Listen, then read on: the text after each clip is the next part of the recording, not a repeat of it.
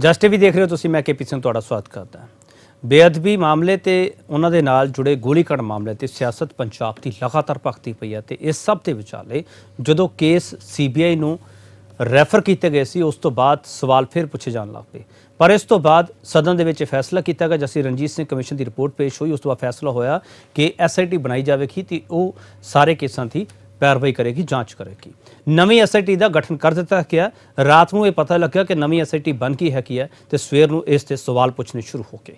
ਤੇ ਅਸੀਂ ਇੱਕੋ ਸਵਾਲ ਪੁੱਛਾਂਗੇ। ਨਵੀਂ ਐਸਆਈਟੀ ਨਾਲ ਨਵਾਂ ਕੀ?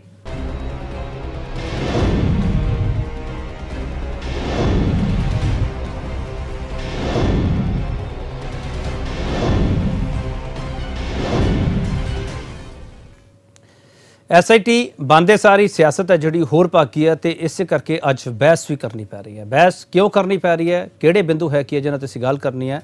ਬੇਅਦਬੀ ਨਾਲ ਜੁੜੇ ਮਾਮਲੇ ਜਾਂਚ ਲਈ ਪੰਜਾਬ ਸਰਕਾਰ ਨੇ ਨਵੀਂ ਐਸਆਈਟੀ ਗਠਿਤ ਕੀਤੀ ਹੈ। ਗੋਲੀकांड ਸਣੇ ਚਾਰ ਮਾਮਲੇ ਜਾਂਚ ਲਈ। ਪੰਜ ਮੈਂਬਰੀ ਟੀਮ ਹੈ, ਪ੍ਰਬੋਧ ਕੁਮਾਰ ਅਗਵਾਈ ਕਰਨਗੇ। ਜਸੀ ਰਣਜੀਤ ਸਿੰਘ ਕਮਿਸ਼ਨ ਦੀ ਰਿਪੋਰਟ ਤੋਂ ਬਾਅਦ ਸਰਕਾਰ ਨੇ ਇਹ ਫੈਸਲਾ ਕੀਤਾ। ਐਸਆਈਟੀ ਨੂੰ ਜਲਦ ਕਾਰਵਾਈ ਕਰਨ ਤੇ ਸਰਕਾਰ ਨੇ ਹੁਕਮ ਵੀ ਦਿੱਤੇ ਹਨ ਕੋਟਕਪੂਰਾ ਵਿੱਚ 7 ਅਗਸਤ 2018 ਨੂੰ ਦਰਜ ਐਫ ਆਈ ਆਰ ਨੰਬਰ 129 ਨਵੀਂ ਐਸ ਆਈ ਟੀ ਦੇ ਹਵਾਲੇ ਕੀਤੀ ਗਈ ਹੈ। ਬਾਜਾਖਾਨਾ 'ਚ 21 ਅਕਤੂਬਰ 2015 ਨੂੰ ਦਰਜ ਐਫ ਆਈ ਆਰ ਨੰਬਰ 130 ਨਵੀਂ ਐਸ ਆਈ ਟੀ ਦੇ ਹਵਾਲੇ ਕੀਤੀ ਗਈ ਹੈ। ਇਹ ਜੋ ਸਰਕਾਰ ਦੀ ਪ੍ਰੈਸ ਰਿਲੀਜ਼ ਕਹਿੰਦੀ ਹੈ, ਉਸ ਦੇ ਮੁਤਾਬਕ ਅਸੀਂ ਤੁਹਾਨੂੰ ਸਭ ਕੁਝ ਦੱਸ ਰਹੇ ਹਾਂ।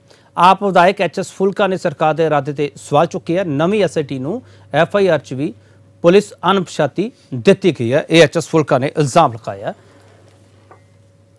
ਤੇ ਐਚ ਐਸ ਫੁਲਕਾ ਨੇ ਕਿਹਾ ਕੀ ਹੈ? ਪਹਿਲਾਂ ਸੁਣ ਲਈਏ।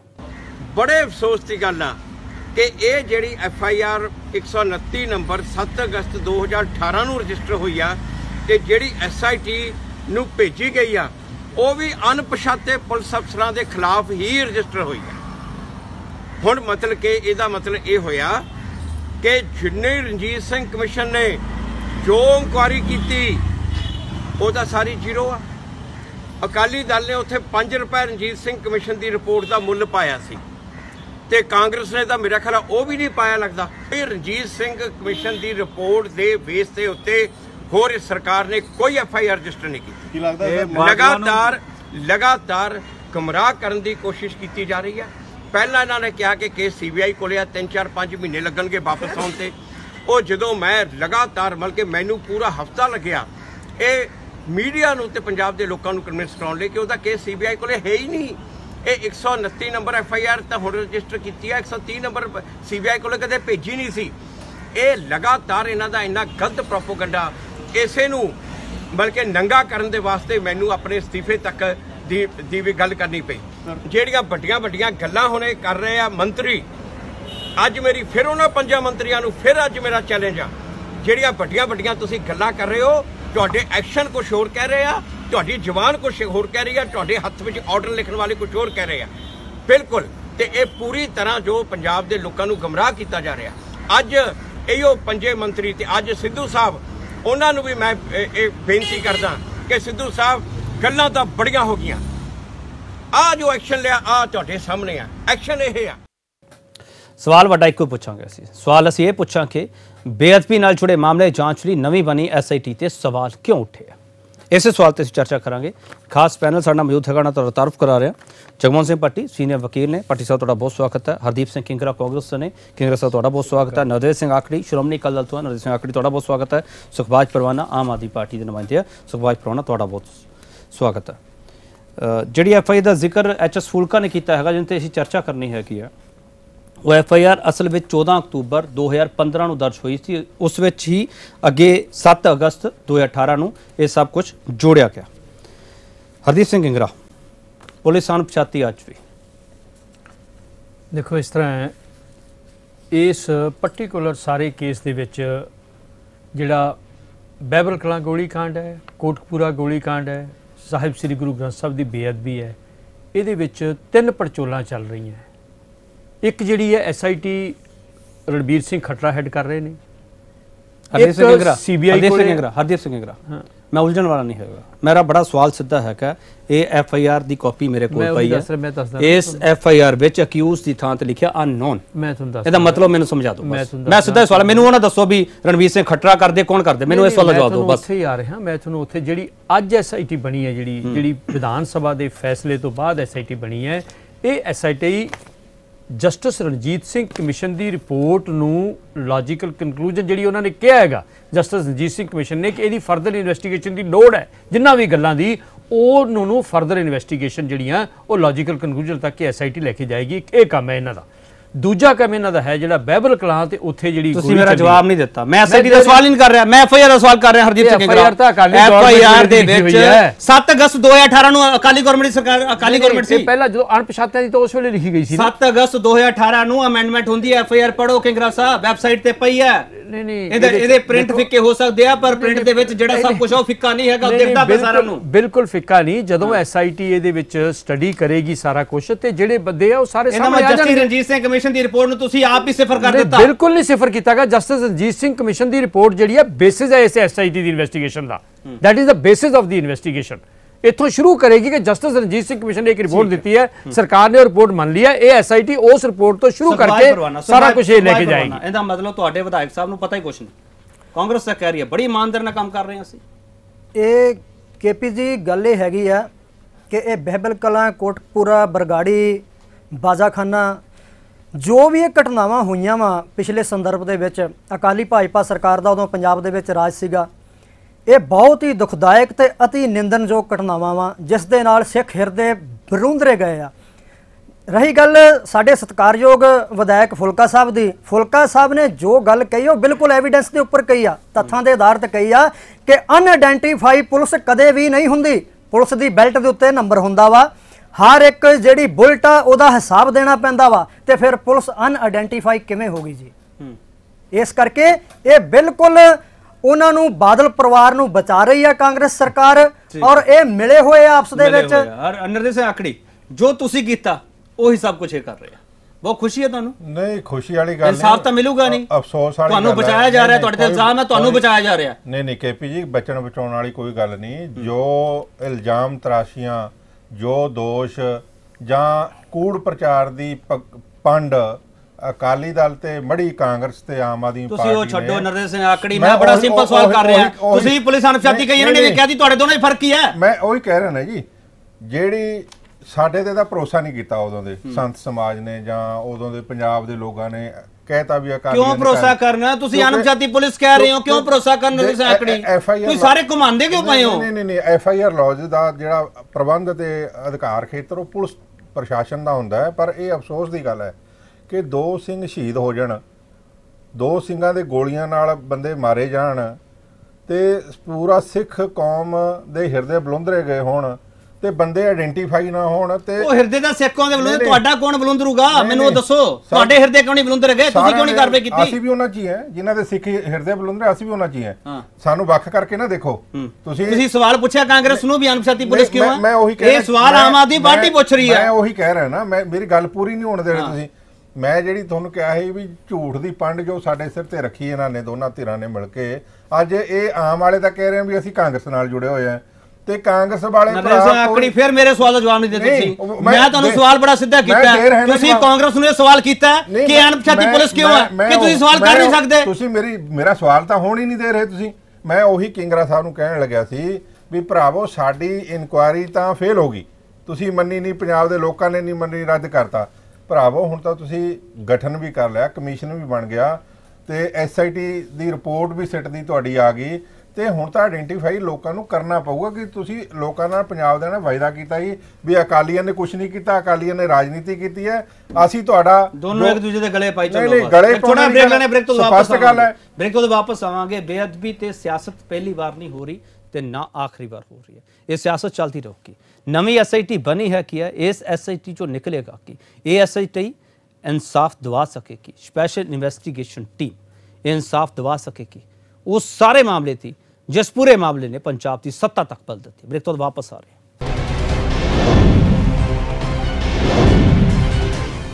ਬੇਅਦਬੀ ਨਾਲ ਜੁੜੇ ਮਾਮਲੇ ਜਾਂਚ ਲਈ ਨਵੀਂ ਬਣੀ ਐਸਆਈਟੀ ਦੇ ਸਵਾਲ ਕਿਉਂ ਹੈ ਹਰਦੀਪ ਸਿੰਘ ਗਿੰਗਰਾ ਮੈਂ ਆ ਰਿਹਾ ਪੱਟੀ ਤੋਂ ਤੁਹਾਡੇ ਕੋਲੇ ਹਰਦੀਪ ਸਿੰਘ ਗਿੰਗਰਾ ਇਸ ਨਵੀਂ ਐਸਆਈਟੀ ਨਾਲ ਨਵਾਂ ਕੀ ਹੋ ਜਾਵੇਗਾ ਨਵਾਂ ਇਹ ਹੋਏਗਾ ਕਿ ਜਿਹੜੀਆਂ ਪੁਰਾਣੀ ਐਸਆਈਟੀ ਬਣੀ ਸੀ, ਉਹਦੇ ਵੇਲੇ ਜਸਟਿਸ ਰਣਜੀਤ ਸਿੰਘ ਕਮਿਸ਼ਨ ਦੀ ਰਿਪੋਰਟ ਨਹੀਂ ਸੀ ਆਈ। ਜਸਟਿਸ ਰਣਜੀਤ ਸਿੰਘ ਕਮਿਸ਼ਨ ਦੀ ਰਿਪੋਰਟ ਦੀਆਂ ਤਿੰਨ ਚਾਰ ਰეკਮੈਂਡੇਸ਼ਨ ਹੈ। ਜਿਨ੍ਹਾਂ ਚੋਂ ਇਹ ਵੀ ਰეკਮੈਂਡੇਸ਼ਨ ਹੈ ਕਿ ਕੁਝ ਕੇਸਸ ਜਿਹੜੇ ਆ, ਉਹਨਾਂ ਦੀ ਫਰਦਰ ਇਨਵੈਸਟੀਗੇਸ਼ਨ ਦੀ ਲੋੜ ਹੈ, ਜਿਹੜੀ ਪੰਜਾਬ ਸਰਕਾਰ ਨੇ ਦੇ ਦਿੱਤੀ ਸੀਗੀ ਸੀਬੀਆਈ ਨੂੰ। ਵਿਧਾਨ ਸਭਾ ਦੇ ਵਿੱਚ ਜਦੋਂ ਡਿਮਾਂਡ ਉੱਠੀ, ਆਮ ਆਦਮੀ ਪਾਰਟੀ ਨੇ ਵੀ ਉਠਾਈ ਸਾਡੀ ਰੂਲਿੰਗ ਪਾਰਟੀ ਦੇ ਐਮਐਲਏਜ਼ ਨੇ ਵੀ ਕਈਆਂ ਨੇ ਡਿਮਾਂਡ ਉਠਾਈ, ਤਾਂ ਸੀਐਮ ਸਾਹਿਬ ਨੇ ਉੱਥੇ ਹੀ ਇਹ ਰੈਜ਼ੋਲੂਸ਼ਨ ਜਿਹੜਾ ਵਿਧਾਨ ਸਭਾ 'ਚ ਪਾਸ ਹੋਇਆ ਕਿ ਜਿਹੜੀ ਸੀਬੀਆਈ ਤੋਂ ਉਹ ਜਿਹੜੀ ਵਾਪਸ ਲੈ ਲਈ ਜਾਵੇ ਇਨਵੈਸਟੀਗੇਸ਼ਨ ਤੇ ਉਹ ਇਨਵੈਸਟੀਗੇਸ਼ਨ ਇੱਕ ਐਸਆਈਟੀ ਬਣਾ ਕੇ ਕੀਤੀ ਜਾਵੇ। ਇਹ ਐਸਆਈਟੀ ਦਾ ਇਹ ਮੈਂਡੇਟ ਹੈ। ਕਿ ਜਿਹੜੀ ਜਿਹੜਾ ਵਿਧਾਨ ਸਭਾ ਦੇ ਵਿੱਚ ਰੈਜ਼ੋਲੂਸ਼ਨ ਆਇਆ ਸੀ ਜਿਹੜਾ ਰਣਜੀਤ ਸਿੰਘ ਕਮਿਸ਼ਨ ਦੇ ਉੱਤੇ ਬਹਿਸ ਹੋਈ ਸੀ ਜਿਹੜੀਆਂ ਰਣਜੀਤ ਸਿੰਘ ਕਮਿਸ਼ਨ ਮਿਸਟਰ ਫੁਲਕਾ ਇਹ ਗੱਲ ਕਹਿ ਰਿਹਾ ਦੇਖੋ, ਕਿ ਇਹ ਕੇਸ ਤਾਂ ਸੀਬੀਆਈ ਕੋਲੇ ਗਏ ਨਹੀਂ ਸੀ ਮੈਂ ਹਰਵਿੰਦਰ ਸਿੰਘ ਫੂਲਕਾ ਨੂੰ ਬੜਾ ਪੁਰਾਣਾ ਜਾਣਦਾ ਬਾਤ ਦਾ ਬਤੰਗੜ ਬਣਾਉਣਾ ਜਾਣਦੇ ਆ ਉਹ। ਉਹਨਾਂ ਨੂੰ ਕੋਈ ਹੋਰ ਇਸ ਤੋਂ ਵੱਧ ਨਹੀਂ ਹੈਗਾ। ਰੌਲਾ ਪਾ ਕੇ ਬੋਲਣ ਵਾਲੇ ਹੈਗੇ ਆ ਉਹ ਉਹਨਾਂ ਨੂੰ ਕੋਰਟਾਂ ਦੇ ਵਿੱਚ ਵੀ ਰੋਕਿਆ ਗਿਆ ਕਈ ਵਾਰ। ਉਹਨਾਂ ਨੂੰ ਕੋਰਟਾਂ 'ਚ ਵੀ ਕਈ ਵਾਰ ਰੋਕਿਆ ਗਿਆ ਰੌਲਾ ਨਾ ਪਾਓ ਇਹ ਕਿਹੜਾ ਕੋਈ ਉਹ ਹਰ ਹਰ ਚੀਜ਼ ਨੂੰ ਸਟੇਜ ਨਹੀਂ ਸਮਝਣਾ ਚਾਹੀਦਾ ਕਿ ਸਟੇਜ ਹੈ ਜਿੱਥੇ ਭਾਸ਼ਣ ਦੇਣਾ ਹੈਗਾ। ਅਗਰ ਉਹ ਆਪਣੇ ਆਪ ਮਿਸਟਰ ਫੁਲਕਾ ਜੇ ਇਸ ਰਿਪੋਰਟ ਦੀ ਗੱਲ ਕਰ ਰਿਹਾ ਐਫਆਈਆਰ ਦੀ ਗੱਲ ਕਰ ਰਿਹਾ ਉਹ ਬਈ ਇਹ ਫੂਲ ਵੀ ਗਲਤ ਹੈ? He should have patience he is a public representative ਉਹ ਕਹਿੰਦਾ 15 ਤਰੀਕ ਤੱਕ ਜੇ ਬਾਦਲ ਸਾਹਿਬ ਨੂੰ ਫੜ ਕੇ ਅੰਦਰ ਨਾ ਦਿੱਤਾ ਤੇ ਮੈਂ ਕਹਿੰਦਾ ਰਿਜ਼ਾਈਨ ਕਰ ਦਿਆਂਗਾ। ਉਹ ਕਦੇ ਸਰਕਾਰਾਂ ਨੀ ਜਰਕ ਰਿਐਕਸ਼ਨ ਨਾਲ Resign ਵਾਲੇ ਸਵਾਲ ਤੇ ਮੈਂ ਆ ਕਿਸੇ ਨੂੰ। ਫੜਨ ਦਾ ਕਿਸੇ ਨੂੰ ਛੱਡਣ ਦਾ। ਇਹ ਇਹਦੇ ਪ੍ਰੋਸੀਜਰ ਹੁੰਦੇ ਆ। ਇਹ ਥੋੜੀ ਕਿ ਜਦੋਂ ਮਰਜ਼ੀ ਤੁਸੀਂ ਫੜ ਕੇ ਅੰਦਰ ਦੇ ਦਿਓ। ਵਾਲੇ ਤੁਹਾਡੀ ਸਰਕਾਰ ਹੈ ਇਹ ਕੋਈ ਰਾਜਾ ਦਾ ਰਾਜ ਹੈ ਇੱਥੇ? ਸਵਾਲ ਤੇ ਮੈਂ ਆ ਜਾਊਂਗਾ ਕਿੰਗਰਾ ਸਾਹਿਬ ਮੈਂ ਇਹ ਸਵਾਲ ਕਰ ਇਹ ਰਿਹਾ monarchy ਸੀਗਾ, ਥੋੜ੍ਹੀ ਹੈ, ਜਿਹੜੀ ਹੈ। ਐਫ ਆਈ ਆਰ 7 ਅਗਸਤ 2018 ਨੂੰ ਜਿਹੜੀਆਂ ਚੀਜ਼ਾਂ ਵਿੱਚ ਜੋੜੀਆਂ ਜਾਂਦੀਆਂ ਹੈਗੀਆਂ ਉਹਦੇ ਵਿੱਚ ਵੀ ਅਨਨੋਨ ਕਿਉਂ ਹੈ? ਨਹੀਂ ਦੇਖੋ ਇਹ ਜਿਹੜਾ ਹੈਗਾ ਇਨਵੈਸਟੀ ਇਹ ਇਹਦੇ ਬਾਰੇ ਮੈਂ ਜਿਹੜਾ ਐਫ ਆਈ ਆਰ ਦੇ ਵਿੱਚ ਅਨਨੋਨ ਕਿਉਂ ਹੈ ਇਹਦੇ ਬਾਰੇ ਮੈਂ ਕਮੈਂਟ ਨਹੀਂ ਕਰੂੰਗਾ। I have to go into the detail of this ਕਿ ਐਫ ਆਈ ਆਰ ਜੋ ਲਿਖਾਈ ਗਈ ਹੈ ਇਹ ਕਿਹਨੇ ਲਿਖਾਈ ਹੈ? ਇਹਦੇ ਇਹਦੇ ਚ ਕੰਪਲੇਨੈਂਟ ਕੌਣ ਹੈ ਐਫ ਆਈ ਲਿਖਾਉਣ ਵਾਲਾ? ਪੁਲਿਸ ਹੈ ਸਰਕਾਰ ਹੈ ਕੌਣ ਹੈ? It will have to be gone into the detail ਲੇਕਿਨ ਜਿਹੜੀ ਇਹ ਜਿਹੜੀ ਐਸ ਆਈ ਟੀ ਬਣੀ ਹੈ ਇਹ ਸਿਰਫ ਇਸ ਵਾਸਤੇ ਬਣੀ ਹੈ ਕਿ ਜੋ ਅਜੀਤ ਵੀ ਸਿੰਘ ਨੂੰ ਜਾਣਦੇ ਹੋ? ਹਾਂਜੀ। ਅਜੀਤ ਸਿੰਘ ਨੂੰ ਜਾਣਦੇ ਹੋ? ਜਿਹਦੇ ਗੋਲੀਆਂ ਵੱਜੀਆਂ ਸੀ ਤੁਸੀਂ ਤਾਂ ਉਸ ਹਾਂ ਮੈਂ ਇਲਾਕੇ ਦੇ ਜਾਣਦਾ ਜੀ ਉਸ ਨੂੰ ਜਾਣਦਾ ਮੈਂ ਜਾਣਦਾ ਬਿਲਕੁਲ ਜਾਣਦਾ ਮੈਂ ਉਹਦੇ ਘਰੇ ਵੀ ਗਿਆ ਹਾਂ ਆ ਪੜ੍ਹ ਲਓ ਸਾਰਾ ਕੁਝ ਲਿਖਿਆ ਹੋਇਆ ਹਾਂ ਉਹ ਨਹੀਂ ਮੈਂ ਫਿਰ ਪੜ੍ਹੀ ਨਹੀਂ ਨਾ ਜਿੱਥੇ ਮੈਂ ਪੜ੍ਹੀ ਹੁੰਦੀ ਤਾਂ ਮੈਂ ਮੈਂ ਤੁਹਾਨੂੰ ਤੁਹਾਡਾ break 'ਚ commented ਮੌਕਾ ਹੁੰਦਾ। ਦੂੰਗਾ, ਇਹ ਪੜ੍ਹ ਲਿਓ, ਮੈਂ break ਤੋਂ ਬਾਅਦ ਫਿਰ ਮੈਂ ਸਵਾਲ ਪੜ੍ਹ ਲਾਂਗਾ ਕਰਾਂਗਾ, ਬਿਲਕੁਲ ਜਗਮੋਹਨ ਪੜਾਂਗਾ ਸਿੰਘ ਮੈਂ ਪੜ੍ਹ। Now Jagmohan Singh now there is a need और पढ़े तो ठीक- बिना मैं कोई गल ठीक करता है, भी मैं नहीं मैं पढ़ लूंगा ब्रेक 'ਚ ਤੁਹਾਨੂੰ ਮੌਕਾ ਦੂੰਗਾ ਪੜ੍ਹ ਲਿਓ ਜਗਮੋਹਨ ਸਿੰਘ ਪੱਟੀ ਇੱਕ ਸੀਨੀਅਰ ਵਕੀਲ ਦੇ ਤੌਰ ਤੇ ਤੁਸੀਂ ਇੱਥੇ ਸਾਡੇ ਨਾਲ ਬੈਠੇ ਹੋ। ਇੱਕ ਸੀਨੀਅਰ ਵਕੀਲ ਨਾਮ ਆ- ਨਾਲ ਆਮ ਆਦਮੀ ਪਾਰਟੀ ਦੇ ਵਿਧਾਇਕ ਐਚ ਐਸ ਫੂਲਕਾ ਜਿਹੜਾ ਸਵਾਲ ਚੁੱਕ ਰਿਹਾ ਹੈ ਕਿ ਆ, ਉਸ ਸਵਾਲ ਦੇ ਵਿੱਚ ਕੋਈ ਦਮ ਨਹੀਂ ਹੈ ਸਿਰਫ ਮਿਸਟਰ ਫੂਲਕਾ ਰੋਲਾ ਪਾ ਰਿਹਾ। ਇਹ ਗੱਲ ਬਿਲਕੁਲ ਗਲਤ ਹੈ ਕਿ ਫੁਲਕਾ ਸਾਹਿਬ ਰੌਲਾ ਪਾ ਰਹੇ ਹੈ ਉਹਨਾਂ ਨੇ ਅਗਰ ਜੇ ਕੋਈ ਤੱਥ ਪੂਰੇ ਜ਼ੋਰ ਨਾਲ ਵਿਧਾਨ ਸਭਾ ਦੇ ਵਿੱਚ ਰੱਖਿਆ ਜਾਂ ਪੰਜਾਬ ਦੇ ਲੋਕਾਂ ਦੇ ਸਾਹਮਣੇ ਰੱਖਿਆ ਜਾਂ ਕਿਸੇ ਨੂੰ ਵੀ ਚਤਾਇਆ ਰਣਜੀਤ ਸਿੰਘ ਕਮਿਸ਼ਨ ਨੂੰ ਚਤਾਇਆ ਹੈ ਜਾਂ ਐਸਆਈਟੀ ਜਿਹੜੀ ਬਣੀ ਹੈ ਉਸ ਨੂੰ ਚਤਾਇਆ ਹੈ ਤੇ ਇਸ ਨੂੰ ਰੌਲਾ ਪਾਣਾ ਨਹੀਂ ਕਿਹਾ ਜਾ ਸਕਦਾ। ਤੁਹਾਡੇ ਇਸ ਸਵਾਲ ਦਾ ਜਵਾਬ ਨਾ ਤਾਂ ਅਕਾਲੀ ਦਲ ਦੇ ਸਕਿਆ ਔਰ ਨਾ ਕਾਂਗਰਸ ਦੇ ਸਕੀ ਹੈ ਵੀ ਅਨਨੋਨ ਵਿਅਕਤੀ ਕਿਹੜੇ ਨੇ ਜਿਨ੍ਹਾਂ ਦੇ ਅਗੇਂਸਟ ਹੋਈ ਹੈ। ਅਨਨੋਨ ਵਿਅਕਤੀ ਤੇ ਹੋ ਹੀ ਨਹੀਂ ਸਕਦੇ। ਜਦੋਂ ਪ੍ਰੈਜ਼ੈਂਸ ਹੈ ਸਾਰੇ ਲੋਕਾਂ ਦੀ, ਉਸ ਵੇਲੇ ਦੀ ਸਮੇਂ ਦੀ ਪੁਲਿਸ ਉੱਥੇ ਪ੍ਰੈਜ਼ੈਂਟ ਹੈ। ਉੱਥੋਂ ਦੀਆਂ ਆਈ ਵਿਟਨੈਸ ਉੱਥੇ ਨੇ ਰਣਜੀਤ ਸਿੰਘ ਕਮਿਸ਼ਨ ਦੀ ਰਿਪੋਰਟ ਉੱਥੇ ਹੈ ਜ਼ੋਰਾ ਸਿੰਘ ਕਮਿਸ਼ਨ ਦੀ ਰਿਪੋਰਟ ਆ ਗਈ ਕਿ ਇਹ ਕਲੈਕਟਿਵ ਚੀਜ਼ਾਂ ਥੋੜੀਆਂ ਨੇ ਉਹਨਾਂ ਨੂੰ ਆਇਡੈਂਟੀਫਾਈ ਕਰਨ ਲਈ। ਅਗਰ ਜੇ ਅਸੀਂ ਇਹ ਕਹੀਏ ਫੁਲਕਾ ਸਾਹਿਬ ਨੇ ਰੌਲਾ ਪਾਇਆ ਤੇ ਇਹ ਗੱਲ ਬਿਲਕੁਲ ਗਲਤ ਹੈ। ਐਡਵੋਕੇਟ ਦਾ ਕੰਮ ਇਹ ਹੁੰਦਾ ਹੈ ਜੇ ਕਿਸੇ ਉਹ ਐਡਵੋਕੇਸੀ ਕਰ ਰਿਹਾ ਕਿ ਸਿਆਸਤ ਕਰ ਰਿਹਾ? ਕੋਈ ਐਡਵੋਕੇਸੀ ਨਹੀਂ ਕਰ ਰਹੇ। ਨਾ ਉਹ ਐਡਵੋਕੇਟ ਦੇ ਤੌਰ ਤੇ ਬਿਆਨ ਦੇ ਰਿਹਾ ਨਾ ਕੋਈ ਐਡਵੋਕੇਟ ਤੋਂ ਜਾ ਕੇ ਬਿਆਨ ਲੈਂਦਾ ਹੈਗਾ। ਉਹ ਇੱਕ ਪਬਲਿਕ ਰਿਪਰੈਜ਼ੈਂਟੇਟਿਵ ਹੈ ਐਮਐਲਏ ਹੈ ਦਾਖੇ ਤੋਂ। ਇਸ ਕਰਕੇ ਉਹਨਾਂ ਦੀ ਬਿਆਨ ਲਿਆ ਜਾ ਰਿਹਾ। ਆਮ ਆਦਮੀ ਪਾਰਟੀ ਦੇ ਐਮਐਲਏ ਹੈ। ਜੇ ਉਹ ਨਾ ਹੁੰਦੇ ਐਮਐਲਏ ਉਹਨਾਂ ਨੂੰ ਪੁੱਛਣਾ ਵੀ ਕਿਸੇ ਨੇ ਨਹੀਂ ਸੀ ਜਾ ਕੇ ਵੀ ਕੀ ਹੋ ਰਿਹਾ। ਤੇ ਤੁਸੀਂ ਚਾਹੁੰਦੇ ਹੋ ਕੋਈ ਪੁੱਛੇ ਵੀ ਨਾ ਉਹ ਅਸਤੀਫਾ ਯਾਰ ਦੇ ਪੁੱਛੇ ਕਿਉਂ ਨਾ? ਮੈਂ ਫੁਲਕਾ ਮਿਸਟਰ ਫੁਲਕਾ ਨੂੰ ਬਹੁਤ ਚੰਗੀ ਤਰ੍ਹਾਂ ਜਾਣਦਾਗਾ ਉਹ ਕਿਵੇਂ ਰੌਲਾ ਪਾਉਂਦੇ ਨੇ ਕਿਵੇਂ ਉਹ ਬਾਤ ਦਾ ਪਤੰਗੜ ਬਣਾਉਂਦੇ ਨੇ ਮੈਂ ਬੜੀ ਚੰਗੀ ਤਰ੍ਹਾਂ ਜਾਣਦਾ ਉਹਨਾਂ ਨੂੰ ਇਸ ਗੱਲ ਤੇ ਨਹੀਂ ਚਲੋ ਮੈਂ ਪੱਟੀ ਸਾਹਿਬ ਤੁਹਾਨੂੰ ਵਿੱਚ ਰੋਕੇ ਤੁਸੀਂ। ਮੈਂ ਇੱਥੇ ਇੱਕ ਚੀਜ਼ ਇਹ ਦੱਸਣੀ ਚਾਹਾਂਗਾ ਕਿ 45 ਮਿੰਟ ਦਾ ਮੈਨੂੰ ਟੈਲੀਫੋਨ ਕਰਕੇ ਫੂਲਕੇ ਨੇ ਕਿਹਾ ਕਿ ਆਪਾਂ ਸੁੱਚਾ ਸਿੰਘ ਛੋਟੇ ਨੂੰ ਮਾਰੀਏ ਪਾਰਟੀ ਦੇ ਵਿੱਚ। ਮੈਂ ਆਖਿਆ ਕਿਉਂ ਮਾਰੀਏ? ਲੈ ਹੁਣ ਮੈਂ ਅੱਜ ਦੱਸਣ ਲੱਗਿਆ ਸਟੇਜ ਦੇ ਉੱਤੇ। ਤੇ ਪੁੱਛ ਰਹੇ ਫੂਲਕੇ ਨੂੰ ਕਹੋ ਮੇਰੇ ਨਾਲ ਕਨਫਰੰਟ ਕਰੇ ਕਿਸ ਦਿਨ। ਨਹੀਂ ਤੁਹਾਨੂੰ ਲੱਗਦਾ ਕਿ ਐਚਐਸ ਫੂਲਕਾ ਸੋ ਆਮ ਮੈਂ ਉਹ ਆਦਮੀ- ਪਾਰਟੀ ਦੀ ਕਨਸਪੀਰੇਸੀ ਕਰਦੇ ਸੀ। ਬਿਲਕੁਲ। ਬਿਲਕੁਲ ਕਰਦੇ ਸੀ the main conspirator of the Aam Aadmi Party. Aam Aadmi Party ਦਾ ਪੰਜਾਬ 'ਚ ਬੇੜਾ ਗਰਕ ਕਰਨ ਵਾਲੇ ਜਿਹੜੇ ਬੰਦੇ ਉਹਨਾਂ ਮਿੰਟ ਪੱਟੀ ਸਾਹਿਬ ਉਹਨਾਂ ਜਵਾਬ ਤੋਂ ਦਿਓ ਫੂਲਕਾ ਸਭ ਤੋਂ ਮੂਰੇ ਬਿਲਕੁਲ ਗਲਤ ਗੱਲ ਆ ਜੀ। ਮੈਂ ਗਵਾਹ ਇਸ ਚੀਜ਼ ਦਾ। ਬਿਲਕੁਲ ਗਲਤ ਗੱਲ ਮੈਂ ਮੁੱਦੇ ਤੋਂ ਭਟਕ ਨਹੀਂ ਦਊਂਗਾ ਪਰ ਮੈਨੂੰ ਜਵਾਬ ਚਾਹੀਦਾ ਇਸ ਦਾ। ਕਿੰਗਰਾ ਸਾਹਿਬ ਉਸ ਟਾਈਮ ਕਾਫਲੇ ਦੇ ਨਾਲ ਚੱਲ ਰਹੇ ਸੀ ਆਪ ਪਰਿਵਾਰ ਦੇ ਹਿੱਸਾ ਸੀਗੇ। ਔਰ ਫੁਲਕਾ ਜੀ ਜਿਹੜੀ ਗੱਲ ਹੈ ਰੌਲਾ ਪਾਉਣ ਵਾਲੀ ਕਹਿ ਰਹੇ ਆ ਫੁਲਕਾ ਜੀ ਇੱਕ ਸਤ- ਸਤਿਕਾਰਤ ਹਸਤੀ ਨੇ ਸਿੱਖ ਸਮਾਜ ਦੀ ਔਰ ਉਹ ਇੱਕ ਸੁਪਰੀਮ ਕੋਰਟ ਦੇ ਜ਼ਿੰਮੇਵਾਰ ਵਕੀਲ ਨੇ। ਉਹ 84 ਦੇ ਦੰਗਿਆਂ ਦੇ ਕੇਸ ਉਹਨਾਂ ਨੇ ਅੱਜ ਤੱਕ ਲੜੇ ਨੇ। ਉਹ ਰੌਲਾ ਕਿਉਂ ਪਾ ਰਹੇ ਆ 84 ਜੀ ਕਤਲੇਆਮ ਕੋ ਤਾਂ ਜ਼ਿਆਦਾ ਬਿਹਤਰ 84 ਕਤਲੇਆਮ ਦੇ ਹਾਂ 84 ਕਤਲੇਆਮ ਦਾ ਕੇਸ ਜਿਹੜਾ ਉਹਨਾਂ ਨੇ ਲੜਿਆ ਵਾ ਆਪਣੇ ਜਿਹੜੇ ਉਹਨਾਂ ਨੇ ਨਿਆਂ ਦੇ ਲਈ ਸੰਘਰਸ਼ ਕੀਤਾ ਵਾ। ਤੇ ਉਹ ਉਹ ਰੌਲਾ ਨਹੀਂ ਪਾ ਰਹੇ ਉਹ ਰੌਲਾ ਨਹੀਂ ਪਾ ਰਹੇ। ਉਹ ਇਸ ਚੀਜ਼ ਦੀ ਮੰਗ ਕਰ ਰਹੇ ਆ ਆਵਾਜ਼ ਉਠਾ ਰਹੇ ਆ ਕਿ ਜਿਹੜਾ ਇਹ ਬਰਗਾੜੀ ਬਹਿਬਲ ਕਲਾਂ ਕਾਂਡ ਦੀਆਂ ਘਟਨਾਵਾਂ ਨੇ ਇਹਦੀ ਸਚਾਈ ਜਿਹੜੀ ਆ ਪੰਜਾਬ ਦੀ ਜਨਤਾ ਦੇ ਸਾਹਮਣੇ ਆਉਣੀ ਚਾਹੀਦੀ ਹੈ ਹੂੰ। ਪੱਟੀ ਸਾਹਿਬ ਉਹ ਮੁੱਦਾ ਭਟਕ ਜਾਊਗਾ ਮੈਨੂੰ ਲੱਗਦਾ।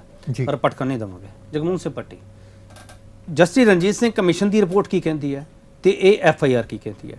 ਐਫ ਆਈ ਆਰ ਦੇ ਵਿੱਚ ਇਹ ਤੋਂ ਬਾਅਦ ਵੀ ਕੋਈ ਚੀਜ਼ਾਂ ਐਡ ਆਨ ਹੋ ਸਕਦੀਆਂ? ਮੈਂ ਇੱਥੇ ਇੱਕ ਗੱਲ ਤੁਹਾਨੂੰ ਯਾਦ ਕਰਾਉਣੀ ਚਾਹਾਂਗਾ। ਸਾਡਾ ਗੁਆਂਢੀ ਦੇਸ਼ ਹੈ ਪਾਕਿਸਤਾਨ।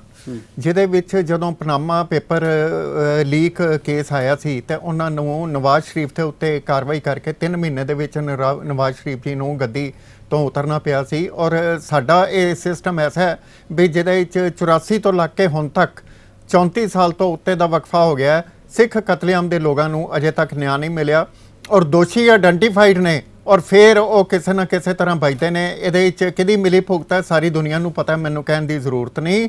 ਔਰ ਫੂਲਕਾ ਸਾਹਿਬ ਨੇ ਜਿਸ ਜ਼ੋਰ ਨਾਲ ਆਵਾਜ਼ ਉਠਾਈ ਹੈ ਸਿੱਖ ਕਤਲੇਆਮ ਦੀ ਇਹ ਇਹਦੇ ਵਿੱਚ ਕੋਈ ਗਲਤ ਗੱਲ ਨਹੀਂ ਕੀਤੀ ਉਹਨਾਂ ਨੇ ਔਰ ਉਹਨਾਂ ਨੇ ਬਿਲਕੁਲ ਠੀਕ ਗੱਲ ਕੀਤੀ ਹੈ ਭਾਵੇਂ ਉਹ ਵਕੀਲ ਨੇ ਸੀਨੀਅਰ ਵਕੀਲ ਨੇ ਆਪਣਾ ਰਿਪਰੈਜ਼ੈਂਟੇਟਿਵ ਨੇ ਲੋਕਾਂ ਦੇ ਉਹਨਾਂ ਨੇ ਇਹਦੇ ਵਿੱਚ ਕੋਈ ਗਲਤ ਗੱਲ ਨਹੀਂ ਕੀਤੀ। ਦੂਜੀ ਚੀਜ਼ ਮੈਂ ਇਹ ਕਹਾਂਗਾ ਜਦੋਂ ਨਵਾਜ਼ ਸ਼ਰੀਫ ਸਾਹਿਬ ਨੂੰ ਗੱਦੀ ਤੋਂ ਹੱਥ ਧੋਣੇ ਪਏ ਆ ਤੇ ਉਸ ਤੋਂ ਬਾਅਦ ਉਹਨਾਂ ਨੂੰ ਜੇਲ੍ਹ ਦਾ ਵੀ ਮੂੰਹ ਦੇਖਣਾ ਪੈ ਗਿਆ। ਕਿ ਇੰਨੀ ਸਪੀਡ ਨਾਲ ਇਹ ਜਿਹੜੀ ਸਿੱਟ ਹੈ ਇਹ ਕੰਮ ਕਰੇਗੀ? ਪਹਿਲੇ ਇਹ ਆਇਡੈਂਟੀਫਾਈ ਕਰਨਗੇ ਇਹ ਲੋਕਾਂ ਨੂੰ ਮੇਰੇ ਦੋ ਸਵਾਲ। ਲੋਕਾਂ ਨੂੰ। ਪਹਿਲੇ ਮੇਰੇ ਪੱਟੀ ਸਾਹਿਬ ਮੇਰੇ ਦੋ ਸਵਾਲ ਸੀਗੇ। ਇੱਕ ਤਾਂ ਸਵਾਲ ਮੇਰਾ ਇਹ ਸੀਗਾ ਇਸ ਐਫ ਆਈ ਆਰ ਦੇ ਵਿੱਚ ਉਹ ਨਾਮ ਪੈ ਸਕਦੇ ਆ ਜੋ ਜਸਟਿਸ ਰਣਜੀਤ ਸਿੰਘ ਕਮਿਸ਼ਨ ਦੀ ਰਿਪੋਰਟ ਕਹਿੰਦੀ ਹੈ।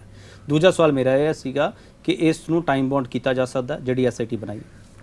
ਇਸ ਨੂੰ ਟਾਈਮ ਬਾਉਂਡ ਬਿਲਕੁਲ ਕੀਤਾ ਜਾ ਸਕਦਾ ਹੈ ਲੇਕਿਨ ਟਾਈਮ ਬਾਉਂਡ ਨਾ ਕਰਕੇ ਇਸ ਦੀ ਕਿਸੇ ਜਿਹੜੀ ਵੀ ਪਹਿਲੀ ਮੀਟਿੰਗ ਹੈ ਉਹਦਾ ਕੋਈ ਏਜੰਡਾ ਜਾਂ ਸ਼ੈਡਿਊਲ ਨਾ ਬਣਾ ਕੇ ਇਹ ਮ, ਜਿਹੜੀ ਸਰਕਾਰ ਦੀ ਮੰਸ਼ ਹੈ ਇਸ ਤੋਂ ਭਲੀਭਾਂਤ ਸਿੱਧ ਹੋ ਜਾਂਦੀ ਹੈ ਵੀ ਸਰਕਾਰ ਇਹਦੇ ਉੱਤੇ ਕੋਈ ਸੀਰੀਅਸ ਨਹੀਂ ਔਰ ਇਹ ਐਲੀਗੇਸ਼ਨ ਜਿਹੜਾ ਆ ਰਿਹਾ ਹੈ ਵੀ ਅਕਾਲੀਆਂ ਨੂੰ ਬਚਾਉਣ ਦੀ ਕੋਸ਼ਿਸ਼ ਕੀਤੀ ਜਾ ਰਹੀ ਹੈ। ਇਹ ਆਪਣੇ ਆਪ ਵਿੱਚ ਇੱਕ ਸਵਾਲ ਹੈ। ਸਿਟ ਐਸਆਈਟੀ ਸਿਟ ਸਿਟ ਦੇ ਦੋ ਮੀਨਿੰਗ ਹੁੰਦੇ ਆ। ਇੱਕ ਸਪੈਸ਼ਲ ਇਨਵੈਸਟੀਗੇਸ਼ਨ ਟੀਮ ਔਰ ਦੂਸਰਾ ਸਿਟ ਸਿਟ ਮੀਨਸ ਬੈਠ ਜਾਓ। ਹੁਣ ਇਹ ਬੈਠ ਜਾਓ ਇਹ ਜਾਂ ਸਪੈਸ਼ਲ ਇਨਵੈਸਟੀਗੇਸ਼ਨ ਟੀਮ ਹੈ। ਇਹਦੇ ਬਾਰੇ ਅੱਜ ਦੀ ਸਰਕਾਰ ਜਿਹੜੀ ਹੈ ਇਸ ਚੀਜ਼ ਦੇ ਉੱਤੇ ਜਵਾਬ ਦੇ ਸਕਦੀ ਹੈ। ਔਰ ਜੇ ਆਇਡੈਂਟੀਫਾਈ ਕਰਨੇ ਨੇ ਅਨਨੋਨ ਪੀਪਲ ਉਹਨਾਂ ਲਈ ਵੀ ਇੱਕ ਨਵੀਂ ਸਿੱਟ ਬਣਾਉਣੀ ਹੈ ਜਾਂ ਕਮਿਸ਼ਨ ਬਣਾ- ਬਿਠਾਉਣਾ ਹੈ। ਇਹ ਮਨੁੱਖੀ ਅਧਿਕਾਰਾਂ ਦਾ ਹਨਨ ਹੋ ਰਿਹਾ ਜਿਹੜਾ ਕਿਸੇ ਵੀ ਤਰ੍ਹਾਂ ਕਨਸਟੀਟਿਊਸ਼ਨ ਦੇ ਵਿੱਚ ਨਹੀਂ ਕਬੂਲਿਆ ਜਾ ਸਕਦਾ ਨਾ ਪੰਜਾਬ ਤੱਕ ਹੀ ਸਾਰੇ ਹਿੰਦੁਸਤਾਨ ਦੇ ਲੋਕਾਂ ਨੂੰ ਵੀ ਇਹ ਚੀਜ਼ ਕਬੂਲ ਨਹੀਂ। ਹਰਦੀਪ ਸਿੰਘ ਇੰਗਰਾ ਮੇਰਾ ਸਵਾਲ ਹੈ ਨਾਲ ਹਰਦੀਪ ਸਿੰਘ ਪਹਿਲਾਂ ਕਿਹਾ ਹਰਦੀਪ ਸਿੰਘ ਮੇਰੇ ਸਵਾਲ ਮੇਰੇ ਸਵਾਲ ਨਾਲ ਮੈਂ ਇੱਕ ਸਟੇਟਮੈਂਟ ਦੇ ਦਿਆਂ ਪਹਿਲਾਂ। ਹਾਂ, ਬੋਲੋ। ਮੈਂ ਇਹ ਤੁਹਾਡੇ ਟੀਵੀ ਤੇ ਬੈਠ ਕੇ ਅੱਜ ਪੂਰੀ ਜ਼ਿੰਮੇਵਾਰੀ ਨਾਲ ਕਹਿ ਰਿਹਾ ਕਿ ਪੰਜਾਬ ਦੀ ਮੌਜੂਦਾ ਸਰਕਾਰ ਨਾ ਤਾਂ ਸਾਹਿਬ ਸ੍ਰੀ ਗੁਰੂ ਗ੍ਰੰਥ ਸਾਹਿਬ ਦੀ ਬੇਅਦਬੀ ਕਰਨ ਵਾਲਿਆਂ ਨੂੰ ਬਖਸ਼ੇਗੀ ਨਾ ਬਾਈਬਲ ਗੋਲੀ ਚਲਾਉਣ ਵਾਲਿਆਂ ਤੇ ਕੋਟਪੂਰੇ ਗੋਲ ਚਲਾਉਣ ਵਾਲਿਆਂ ਨੂੰ ਬਖਸ਼ੇਗੀ। ਉਹ ਕਿੱਡੇ ਵੱਡੇ ਵੀ ਅਫਸਰ ਹੋਣ ਉਹ ਕਿੱਡੇ ਵੱਡੇ ਵੀ ਨੇਤਾ ਹੋਣ ਉਹਨਾਂ ਨੂੰ ਬਿਲਕੁਲ ਬਖਸ਼ਿਆ ਨਹੀਂ ਜਾਏਗਾ। ਚਲੋ ਮੇਰਾ ਸਵਾਲ ਲੈ ਲਓ ਨਾਲ। ਜਦੋਂ ਬਾਦਲ ਪਰਿਵਾਰ ਇਹ ਸਿੱਧਾ ਚੈਲੰਜ ਕਰਦਾ ਸਰਕਾਰ ਨੂੰ ਕਿ ਕਰ ਲਓ ਕੇਸ ਦਰਜ ਸਾਨੂੰ ਜੇਲ੍ਹਾਂ 'ਚ ਡੱਕ ਦਿਓ ਉਦੋਂ ਫਿਰ ਸਰਕਾਰ ਕੀ ਜਵਾਬ ਦੇਊਗੀ? ਬਾਦਲ ਸਾਹਿਬ ਇੱਥੇ ਥੋੜਾ ਜਿਹਾ ਗਲਤੀ ਖਾ ਰਹੇ ਹੈ। ਸਰਦਾਰ ਪ੍ਰਕਾਸ਼ ਸਿੰਘ ਬਾਦਲ ਹੁਣੀ ਬਹੁਤ ਹੀ ਸੀਜ਼ਨਡ ਪੋਲੀਟੀਸ਼ੀਅਨ ਨੇ ਬਹੁਤ ਹੀ ਉਹਨਾਂ ਨੇ ਜ਼ਿੰਦਗੀ ਦੇਖੀ ਹੈ ਪਬਲਿਕ ਲਾਈਫ ਪਰ ਉਹ ਇੱਕ ਚੀਜ਼ ਨਹੀਂ ਜਾਣਦੇ ਕਿ ਪੋਲੀਟੀਕਲ ਕੇਸ ਤੇ ਕ੍ਰਿਮੀਨਲ ਕੇਸ ਇਹ ਦੋਨੇ ਅੱਡ-ਅੱਡ ਗੱਲਾਂ ਹੁੰਦੇ ਨੇ। ਇਹ ਕ੍ਰਿਮੀਨਲ ਕੇਸ ਹੈ ਇਹ ਪੋਲੀਟੀਕਲ ਕੇਸ ਨਹੀਂ ਹੈ। ਇਹਦੇ ਵਿੱਚ ਕ੍ਰਿਮੀਨਲ ਐਕਟ ਹੋਏ ਹੈ। ਸਰਕਾਰ ਦੀ ਡਿਸਚਾਰਜ ਆਫ ਸਰਕਾਰ ਨੂੰ ਹਜੇ ਕ੍ਰਿਮੀਨਲ ਪਤਾ ਨਹੀਂ ਲੱਗਦਾ ਪਿਆ ਕ੍ਰਿਮੀਨਲ ਹੈ ਕਿਹੜੇ ਆ। ਸਰਕਾਰ ਨੂੰ ਹਜੇ ਕਰੇ ਨਹੀਂ ਪਤਾ ਕ੍ਰਿਮੀਨਲ ਹੈ ਕਿਹੜੇ ਜਾਏਗਾ ਆ। ਇਹ। ਡੇਢ ਸਾਲ ਤੁਸੀਂ ਲਾਤਾ ਡੇਢ ਸਾਲ ਉਹਨਾਂ ਨੇ ਲਾਤਾ। ਉਹ ਨਾਲੇ 2 ਦਿਨ ਚ ਨਹੀਂ ਕੋਈ ਕੰਮ ਹੁੰਦਾ ਹੁੰਦਾ ਕਦੇ ਵੀ। ਸਰਕਾਰ ਦਾ ਜਿਹੜਾ ਨਾ ਪ੍ਰੋਸੀਜਰ ਹੁੰਦਾ ਹੈਗਾ ਉਹ ਪ੍ਰੋਸੀਜਰ ਫਾਲੋ ਕਰਨਾ ਪੈਂਦਾ ਭਾਵੇਂ ਹਾਰਡ ਐਂਡ ਕ੍ਰਿਮੀਨਲ ਤੇ ਕਰਨਾ ਪਵੇ। ਇਹ ਤਾਂ ਪੋਲੀਟੀਕਲ ਕ੍ਰਿਮੀਨਲ ਹੈ। ਕਿਨਰਾ ਜੀ ਜੇ ਸਾਡੇ ਗਵਾਂਢੀ ਦੇਸ਼ ਦੇ ਵਿੱਚ 3 ਮਹੀਨੇ ਵਿੱਚ ਨਵਾਜ਼ ਸ਼ਰੀਫ ਪ੍ਰਧਾਨ ਮੰਤਰੀ ਪਾਕਿਸਤਾਨ ਨੂੰ ਗੱਦੀ ਛੱਡਣੀ ਪੈ ਗਈ ਸੀ ਤੇ ਇੱਥੇ ਸਾਡੇ ਦੇਸ਼ ਵਿੱਚ ਇਹ ਕਿਉਂ ਨਹੀਂ ਹੋ ਸਕਦਾ? ਇਹ ਆਪਣੇ ਆਪ ਵਿੱਚ ਸਵਾਲ ਮੈਨੂੰ ਹੈ। ਜਵਾਬ ਦਿਓ ਜੁਡੀਸ਼ੀਅਰੀ ਸਿਸਟਮ ਦੇ ਵਿੱਚ। ਚਲੋ ਇੱਕ ਇੱਕ ਛੋਟਾ ਬ੍ਰੇਕ ਇੱਕ ਛੋਟਾ ਬ੍ਰੇਕ ਦੇ ਵਿੱਚ ਕੇਸ ਜਾਣ ਤੋਂ ਬਾਅਦ ਛੋਟਾ ਸਾਹਿਬ ਬ੍ਰੇਕ ਵਾਪਸ ਆ ਇਹ ਤੁਸੀਂ ਜਵਾਬ ਇਹ ਸਵਾਲ ਲਾਜ਼ਮੀ ਹੋਵੇਗਾ ਤੇ ਫਿਰ ਦੁਬਾਰਾ ਹੋਵੇਗਾ ਤੇ ਵਾਰ-ਵਾਰ ਹੋਵੇਗਾ। ਟਾਈਮ ਬਾਉਂਡ ਇਨਕੁਆਰੀ ਕਿਉਂ ਨਹੀਂ ਕਰਵਾਈ ਜਾ ਰਹੀ? ਸਵਾਲ ਇਹ ਬਹੁਤ ਮਹੱਤਵਪੂਰਨ ਹੈਗਾ, ਕਿਉਂਕਿ ਅੱਗੇ ਚੋਣਾਂ ਵੀ ਆ ਰਹੀਆਂ। ਇੱਕ ਮਿੰਟ ਆਕੜੀ ਆਕੜੀ ਸਾਹਿਬ, ਇੱਕ ਮਿੰਟ ਇੱਕ ਮਿੰਟ।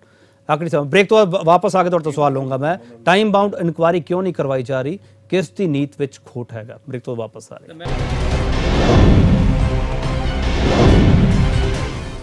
ਬੇਅਦਬੀ ਨਾਲ ਜੁੜੇ ਮਾਮਲੇ ਜਾਂਚ ਲਈ ਨਵੀਂ ਬਣੀ ਐਸਆਈਟੀ ਤੇ ਸਵਾਲ ਕਿਉਂ? ਨਰਦੇਵ ਸਿੰਘ ਆਕੜੀ ਤੁਹਾਨੂੰ ਪਤਾ ਵੀ ਸਰਕਾਰ ਨੇ ਤੁਹਾਡਾ ਕੁਝ ਵਿਗਾੜਨਾ ਨਹੀਂ, ਇਸ ਲਈ ਬਿਆਨ ਦਿਓ।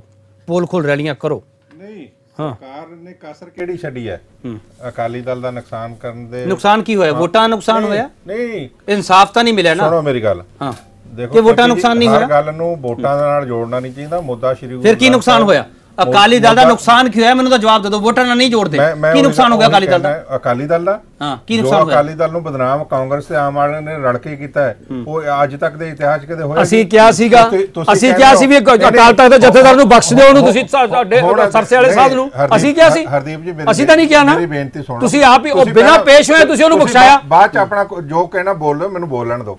ਮੈਂ ਤੁਹਾਡੇ ਮਾਮਲੇ 'ਚ ਬੋਲਦਾ ਨਹੀਂ ਮੇਰੇ ਮਾਮਲੇ 'ਚ ਬੋਲੋ ਨਾ ਪਲੀਜ਼ ਮੁੱਦਾ ਇਹ ਹੈ ਜੀ ਦੇਖੋ ਆਮ ਆਦਮੀ ਪਾਰਟੀ ਵਾਲੇ ਐਚਐਸ ਫੁਲਕਾ ਹੋਵੇ ਜਾਂ ਇਹਨਾਂ ਦੀ ਪਾਰਟੀ ਹੋਵੇ ਜਾਂ ਸੁਖਵਾਲ ਸਿੰਘ ਖਹਿਰਾ ਹੋਵੇ ਜਾਂ ਸਤਿਕਾਰਯੋਗ ਸਾਡੇ ਪੈਨਲਿਸਟ ਬੈਠੇ ਆ ਭੱਟੀ ਸਾਹਿਬ ਵਕੀਲ ਸਾਹਿਬ ਕਿੰਗਰਾ ਸਾਹਿਬ ਵਿੱਚ ਹੀ ਹੈ ਇਹਨਾਂ ਸਾਰੇ ਲੋਕਾਂ ਦਾ ਇੱਕੋ ਜੋਰ ਟਿੱਲ ਦਾ ਲੱਗਿਆ ਹੋਇਆ ਹੈ ਵੀ ਇਹ ਸਿੱਟ ਜਾਂ ਕਮਿਸ਼ਨ ਦੇ ਵਿੱਚ ਬਾਦਲ ਸਾਹਿਬ ਦਾ ਨਾਂ ਕਿਉਂ ਨਹੀਂ ਆਉਂਦਾ ਸਰਕਾਰ ਉਹਨਾਂ ਦੀ ਸੀ। ਬਾਦਲ ਸਾਹਿਬ ਦਾ ਨਹੀਂ ਹੁਣ ਤਾਂ ਸਰਕਾਰ ਤੁਹਾਡੀ ਹੈ ਮੁੱਦਾ ਸਿਰਫ। ਪੋਲੀਟੀਕਲ ਰੰਗਤ ਦੇ ਰਿਹਾ। ਅਸੀਂ ਕਹਿੰਦੇ ਆ ਕਿ ਸ੍ਰੀ ਗੁਰੂ ਗ੍ਰੰਥ ਸਾਹਿਬ ਦੀ ਬੇਅਦਬੀ ਦਾ ਤੇ ਉਹ ਦੋ ਮੁੰਡੇ ਸ਼ਹੀਦ ਜਿਹੜੇ ਹੋਇਆ ਉਹਨਾਂ ਦਾ ਜਿਹੜੇ ਆਇਡੈਂਟੀਫਾਈ ਕਰਕੇ ਉਹਨਾਂ ਨੂੰ ਸਖਤ ਸਜ਼ਾ ਦੇਣੀ ਚਾਹੀਦੀ ਹੈ ਜਿਹੜੇ ਲੋਕਾਂ ਨੇ ਗੁਰੂ ਗ੍ਰੰਥ ਸਾਹਿਬ ਦੀ ਸਖਤ ਸਜ਼ਾ ਦੇਣੀ ਚਾਹੀਦੀ ਹੈ। ਇਹ ਕਹਿਣਾ ਸ਼ਬਦ ਬੜਾ ਪਿਆਰਾ ਲੱਗਦਾ ਮੈਂ ਕਹਿੰਦਾ ਤੁਸੀਂ ਸਾਡੇ- ਤੁਸੀਂ ਸਾਡੇ ਪਾਰਟ ਸਹਿਯੋਗ ਦੇ ਦਿਓ। ਨਾ ਤੁਸੀਂ ਜਾਂਚ ਵਿੱਚ ਸਹਿਯੋਗ ਦੇ ਦਿਓ। ਅਸੀਂ ਤਾਂ ਅਸੀਂ ਤੁਸੀਂ ਜਾ ਤੁਸੀਂ ਜਾ ਕੇ ਕਹੋ ਦੇਖੋ- ਐਫਆਈਆਰ ਤੇ ਦੇਖੋ, ਨਾਮ ਦਰਜ ਕਰੋ। ਅਸੀਂ ਅਕਾਲੀ ਦਲ ਨੇ ਕਿਹਾ ਹੈ। ਰਾਮ ਰਹੀਮ ਦਾ ਨਾਮ ਦਰਜ ਹੋਣਾ ਚਾਹੀਦਾ ਐਫਆਈਆਰ ਅਕਾ- ਅਕਾਲੀ ਦਲ ਨੇ ਕਿਹਾ ਰਾਮ। ਰਹੀਮ ਦਾ ਨਾਮ ਐਫਆਈਆਰ ਤੇ ਦਰਜ ਹੋਣਾ ਚਾਹੀਦਾ ਨਰੇਸ਼ ਆਕੜੀ ਮੈਂ ਸਵਾਲ ਸਿੱਧਾ ਕਰ ਰਿਹਾ ਤੁਹਾਨੂੰ। ਜੇ ਰਾਮ ਰਹੀਮ ਰਾਮ ਰਹੀਮ ਦਾ ਨਾਮ ਦਰਜ ਹੋਣਾ ਮੈਂ ਚਾਹੀਦਾ ਕਿਹਾ ਰਾਮ ਰਹੀਮ ਹੋਵੇ ਚਾਹੇ ਉਹਦਾ ਪਿਓ ਹੋਵੇ। ਸਾਬਕਾ ਡੀਜੀਪੀ ਦਾ ਨਾਮ ਦਰਜ ਹੋਣਾ ਮੈਂ ਚਾਹੀਦਾ ਕਿਹਾ ਜਿਹੜਾ ਮਰਜ਼ੀ ਹੋਵੇ ਸ੍ਰੀ ਗੁਰੂ ਗ੍ਰੰਥ ਸਾਹਿਬ ਦੀ ਬੇਅਦਬੀ ਚ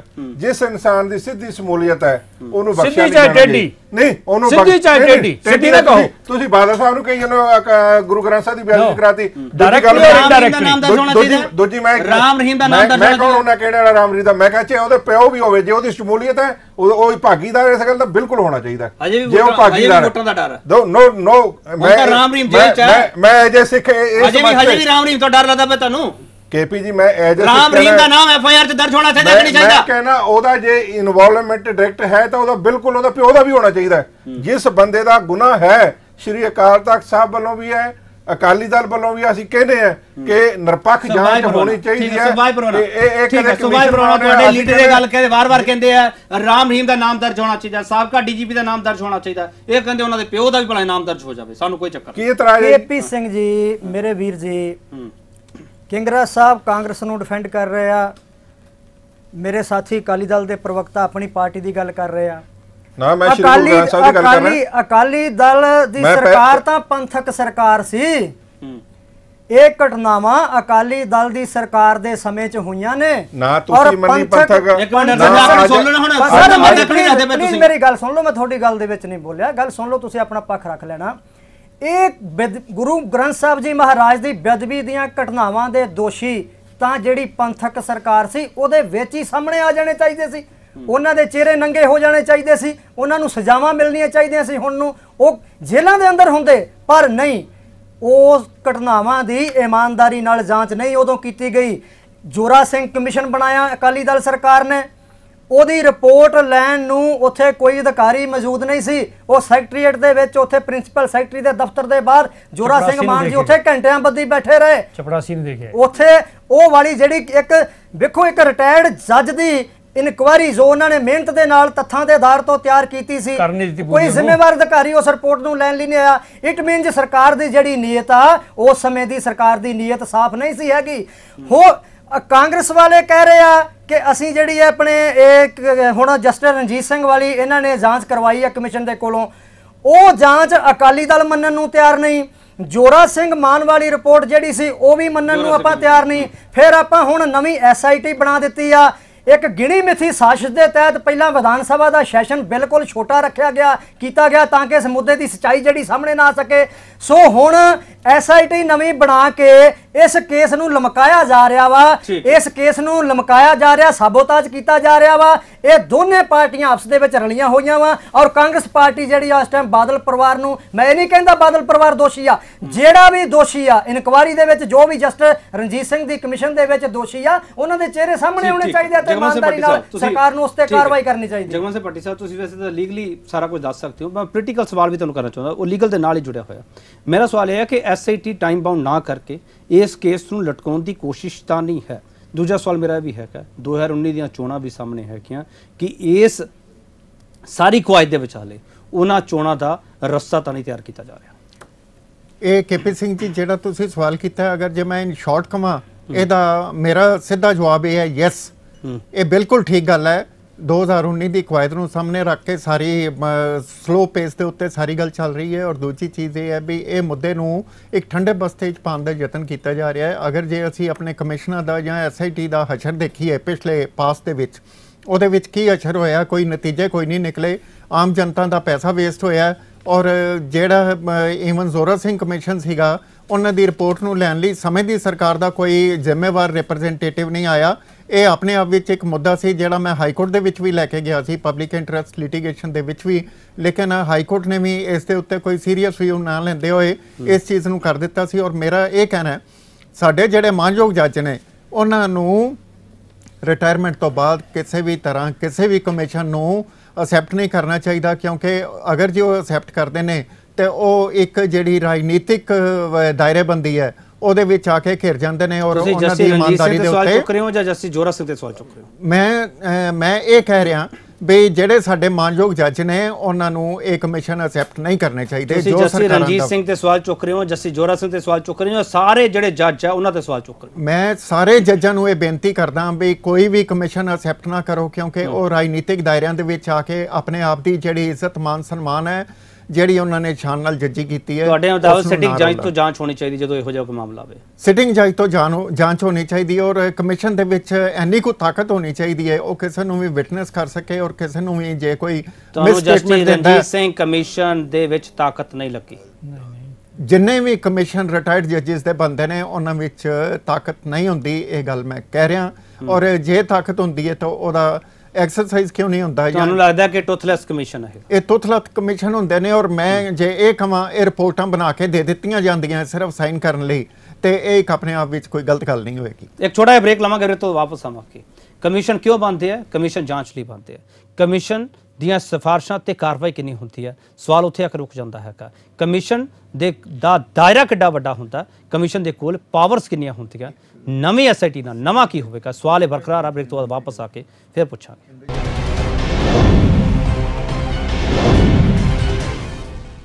ਬੇਅਦਬੀ ਨਾਲ ਜੁੜੇ ਮਾਮਲੇ ਜਾਂਚ ਲਈ ਨਵੀਂ ਬਣੀ ਐਸਆਈਟੀ ਤੇ ਸਵਾਲ ਕਿਉਂ? ਹਰਦੀਪ ਸਿੰਘ ਕੰਕਰਾ।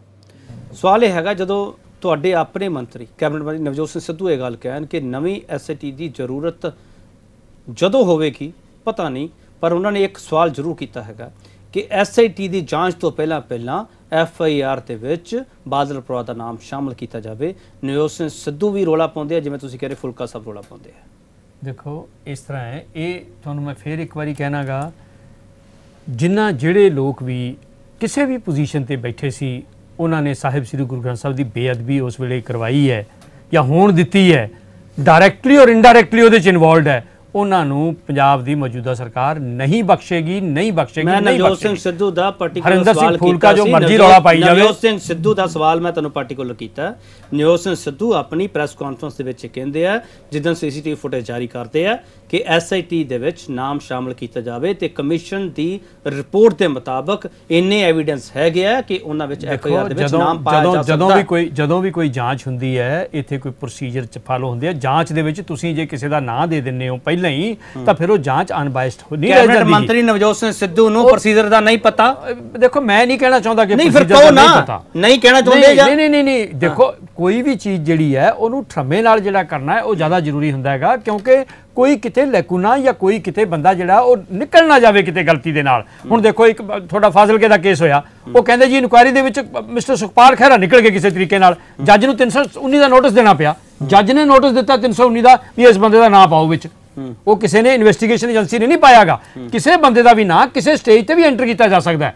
ਤੁਸੀਂ ਆਪ ਕੋਲੇ ਵਕੀਲ ਬੈਠੇ ਨੂੰ ਪੁੱਛੋ ਉਹ ਜੱਜ ਨੇ ਸੁਖਪਾਲ ਖਹਿਰੇ ਦਾ ਨਾਂ ਡਰੱਗਸ ਦੇ ਵਿੱਚ ਪਾਇਆ ਸੀਗਾ ਡਰੱਗ ਵਾਲੇ ਚਲੋ ਕੇਸ ਫਿਰ 'ਚ। ਇੱਕ ਚੀਜ਼ ਮੈਂ ਉਹ ਦੱਸ ਕਿਸੇ ਐਸਆਈਟੀ ਨੇ ਨਹੀਂ ਪਾਇਆ ਸੀ। ਕਿਸੇ ਐਫਆਈਆਰ ਨੇ ਨਹੀਂ ਪਾਇਆ ਸੀ। ਵੀ ਨਾਮ ਸ਼ਾਮਲ ਕੀਤਾ ਜਾ ਸਕਦਾ ਯੈਸ ਕੀਤਾ ਜਾ ਸਕਦਾ ਤੁਸੀਂ ਇਹ ਗੱਲ ਕਰ ਐਫਆਈਆਰ 'ਚ ਨਹੀਂ ਕੇਸ ਦੇ ਵਿੱਚ ਵੀ ਕੀਤਾ ਜਾ ਕੇਸ ਸਕਦਾ ਦੇ ਵਿੱਚ ਉਹੀ ਮਤਲਬ ਉਹੀ ਹੋਇਆ। ਚਲੋ ਕਿਸੇ ਵੇਲੇ ਵੀ ਜੱਜ ਕਰਾ ਸਕਦਾ ਹੈਗਾ। ਹੂੰ, ਜ- ਕਿਆ ਬੰਦਾ ਕਿਉਂ ਛੁੱਟ ਗਿਆ ਇਹਨੂੰ ਪਾਓ ਵਿੱਚ? ਤੇ ਫਿਰ ਪਰ ਉਹ stage ਉਦੋਂ ਆਉਂਦੀ ਤੁਸੀਂ ਜਦੋਂ- ਤੁਸੀਂ ਤਾਂ ਫਿਰ ਜੱਜ ਸਾਹਿਬ ਦੀ ਵੀ ਨਹੀਂ ਮੰਨੀ ਨਹੀਂ ਨਹੀਂ ਨਹੀਂ ਉਹ ਸਟੇਜ ਉਦੋਂ ਆਉਂਦੀ ਤੁਸੀਂ ਹੈ ਜੱਜ ਸਾਹਿਬ ਦੀ ਵੀ ਨਹੀਂ ਮੰਨੀ ਐਫ ਆਈ ਆਰ ਚ ਨਾਮ ਕਿਉਂ ਨਹੀਂ ਪਾਏ ਸੁਣ ਤਾਂ ਲਓ, ਉਹ ਤੁਸੀਂ ਤਾਂ ਇੱਥੇ ਵੀ ਪੁਲਿਸ ਅਣਪਛਾਤੀ ਕਰਤੀ ਨਹੀਂ ਨਹੀਂ ਦੇਖੋ ਮੈਂ ਤੁਹਾਨੂੰ ਹੁਣ ਵੀ ਕਹਿ ਚੁੱਕਿਆ ਦੇਖੋ KP I will have to go through this ਜਿਹੜੀ ਇਹ ਤੁਹਾਡੇ ਕੋਲੇ ਐਫ ਆਈ ਆਰ ਹੈ ਨਾ ਮੈਂ ਸੋਚਿਆ ਸੀ ਕਿ ਪੁਰਾਣੀ। F I.